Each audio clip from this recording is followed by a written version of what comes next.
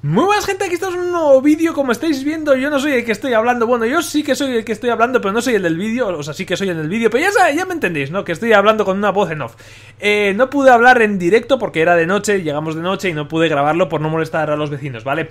Entonces bueno, estoy hablando por encima, aquí tenemos dos unboxings que nos compramos eh, aquel día y uno es de Rayman, ¿vale? Tanto el Rayman Legend como el Rayman Origin venían en un mismo pack. Ya sé que ha salido una remasterización para PS4, lo que pasa que el de PS4 costaba 30 euros y el de PS3, los dos juegos, o sea, en PS4 solo había el Legend.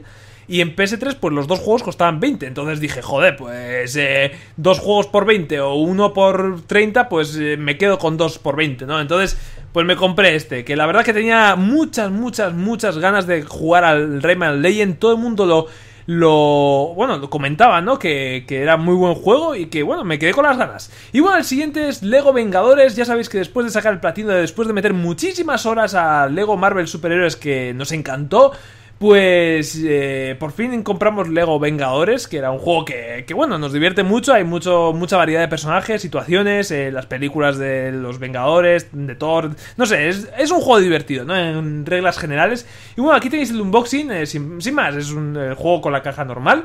Y bueno, espero, espero que os haya gustado este vídeo. Eh, si os ha gustado un like favorito, os agradecería como siempre. Eh, si podéis compartirlo también. Y ahí veis el disco de los Vengadores. Eh, ya os traeré algún gameplay o lo que sea. Si queréis, ponedme en los comentarios, ¿vale? Así que nada, no, lo dejamos por aquí. Así que nada, un saludito y adiós.